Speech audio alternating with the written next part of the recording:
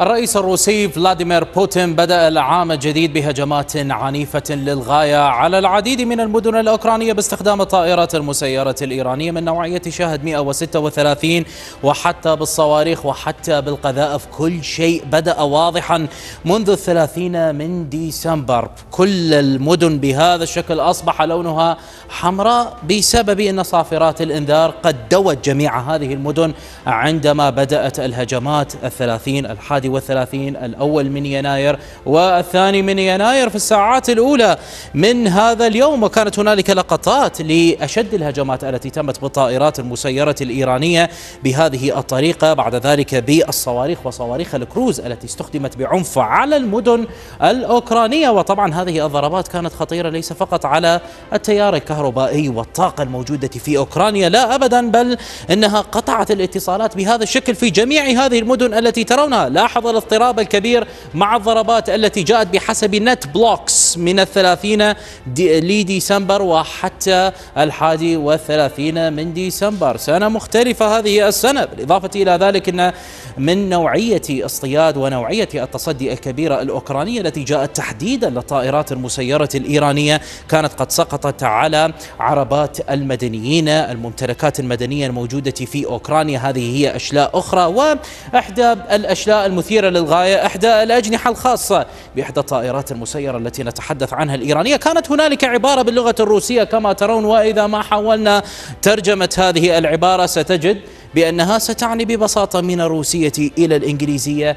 هابي نيو يير وهي سنة سعيدة جديدة. وبالتالي هنالك تهنئة مع القصف الروسي وبأنه واضح جدا بأنهم بدأوا بشكل مختلف. هذه المرة الروس تجاه الأوكرانيين. طبعا وزارة الدفاع الأوكرانية أكدت بأنها أسقطت جميع هذه الطائرات في الأول من يناير أي اليوم الأول من عام 2023 ولاحظ نوعية الطائرات التي أسقطوها هي شاهد 136 الإيرانية. كذلك في اليوم الثاني رغم أن هنالك خطأ نوعا ما لدى الأوكرانيين لدى وزارة الدفاع الأوكرانية لأنه في حقيقة الأمر بأنه الثاني من يناير أكدوا إسقاط جميع هذه الطائرات المسيرة من شاهد 136 وكذلك طائرتين روسية الصنع وأيضا إحدى الصواريخ وصواريخ الكروز وتحديدا الكاليبر التي استخدمت وبالتالي أنت أمام 39 طائرة مسيرة و45 طائرة مسيرة يومين على التوالي. طبعا هذا ما تمكنوا من عملية اصطياده وأسقاطه وإنما البقية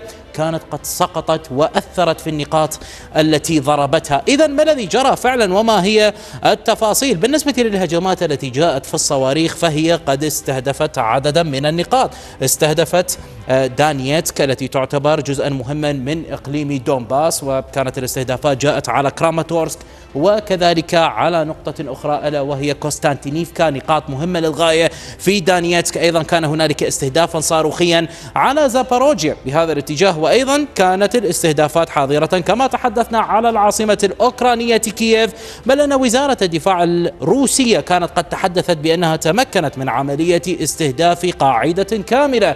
للقوات الخاصة الأوكرانية الفوج الثامن تحديدا وبأنها تمكنت من تدمير هذه القاعدة بشكل عام. هم تحدثوا بأن عملية الاستهدافات هي جاءت بشكل مباشر كجزء كبير منها في استهداف المصانع للطائرات المسيرة الأوكرانية الهجومية التي استخدمتها أوكرانيا مؤخرا في الهجمات التي جاءت طبعا على العمق الروسي في الشهرين الماضيين وكانت ناجحة وناجحة للغاية. أما بالنسبة للطائرات المسيرة المسيرة فالزخم الأكبر لهذه الهجمات وعلى ما يبدو بأنها كانت قادمة من الأراضي البيلاروسية. هي استهدفت بشكل مباشر العاصمة الأوكرانية كييف وتحديدا البنى التحتية للطاقة أدت إلى انقطاع في التيار الكهربائي في محيط هذه العاصمة الأوكرانية المهمة. وطبعا من أكد هذا الأمر هو فيتالي كليتشكو. رئيس بلدية كييف هو الذي تحدث عن هذه المسألة وأيضا قائد القوات الجوية أو قائد القوة الجوية الأوكرانية وهو يوري إغنات. كان قد تحدث بشكل واضح بأننا نتوقع بأن هنالك هجمات وهجوما صاروخيا قادما في السابع من يناير على أوكرانيا ونحن نستعد لهذه المسألة. بالتالي نحن أمام موجات كبيرة. نتحدث خلال أربع أيام عن أربع أو تسع أكثر من تسع موجات من الهجمات بالصواريخ وبالطائرات المسلحة المسيرة على البنى التحتية الأوكرانية. بدأها الرئيس الروسي فلاديمير بوتين مع خطر كبير قادم من بيلاروسيا في ظل تقارير بأن هنالك رغبة في التقدم من القوات الروسية والقوات البيلاروسية الموجودة في بيلاروسيا على العاصمة الأوكرانية كييف في نهاية فبراير القادم أي نهاية الشهر القادم.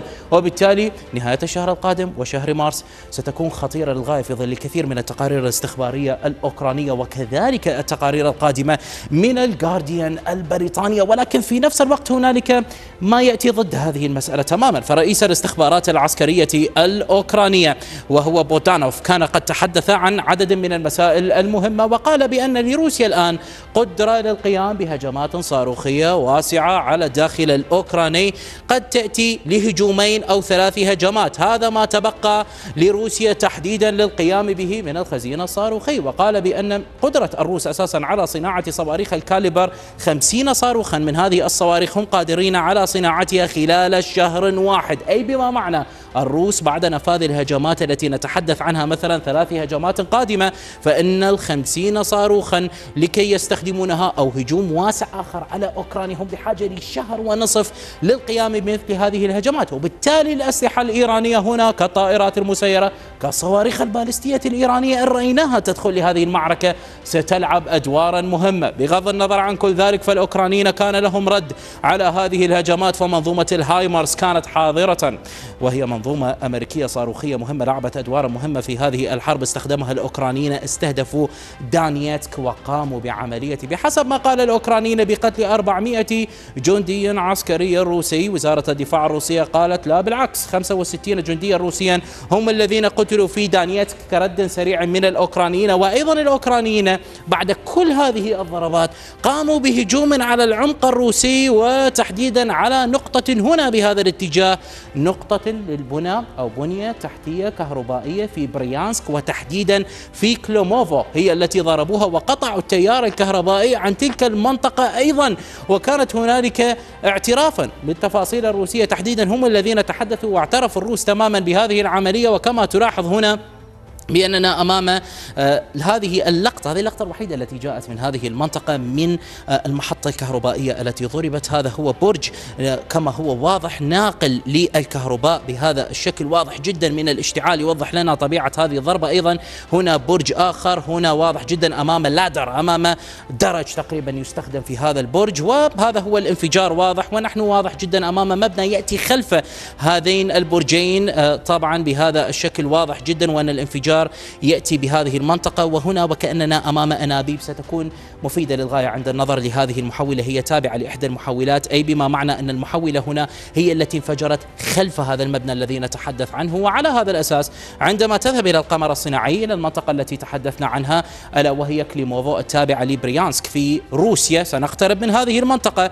النقطة الكهربائية الوحيدة محطة الكهرباء الوحيدة الموجودة هي موجودة بهذا الاتجاه. عندما نتجه إلى اليمين قليلا قليلا وكأننا نسير في الطريق المقابل لهذه المنطقة. وإذا ما حاولنا أن نتوقف بهذا الاتجاه فقط لنلقي نظرة لنهبط بالقمر الصناعي ومن حسن الحظ أيضا موجود ومتوفر أنك تهبط لهذه المنطقة لكي تنظر لهذه النقطة. هل هي حقيقية؟ هل نحن أمام نفس الموقع أم لا؟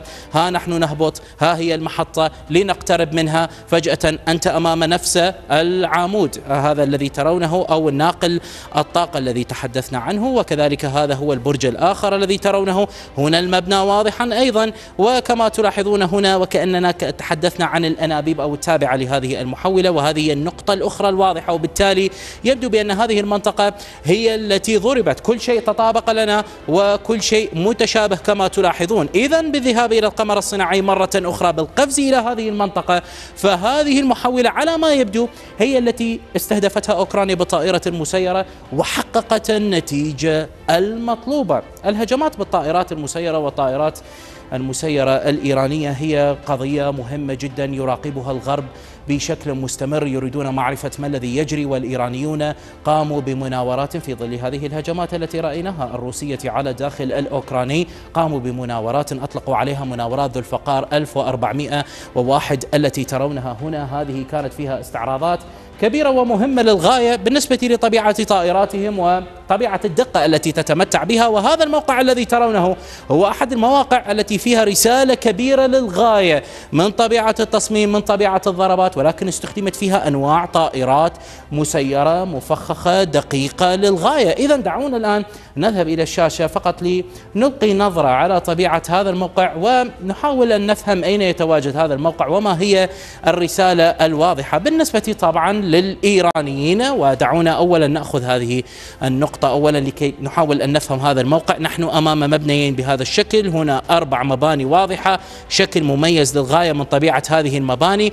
هنا مبنيين آخرين وطبعا هنا شكل مميز سيكون مهما بالنسبة لنا ولا ننسى هذا الطريق. وأيضا نحن أمام مدخلا مائيا بهذه الطريقة وهنالك نقطة يابسة وكأنها واضحة آه، بهذا الاتجاه ستكون مهمة للغاية بالنسبة لهذه المنطقة التي قال والإيرانيون صرحوا تماما عن النقطة التي تدربوا فيها ولكن ليس بشكل دقيق. قالوا بأن المنطقة التي تدربوا فيها مع أخذ هذه العلامات هي كانت هنا بهذا الاتجاه في خليج عمان وتحديدا في ميناء جاسك. دعونا نذهب بالقمر الصناعي إلى هذا الميناء مع أخذ هذه العلامات بالاقتراب من هذه المنطقة وهي مسألة مهمة ومهمة للغاية. هنا ميناء جاسك الذي ترونه إذا ما اقتربنا.